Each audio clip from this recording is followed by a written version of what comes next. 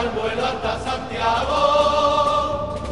Mi morenica llegó, qué alegría tan grande de su sueño de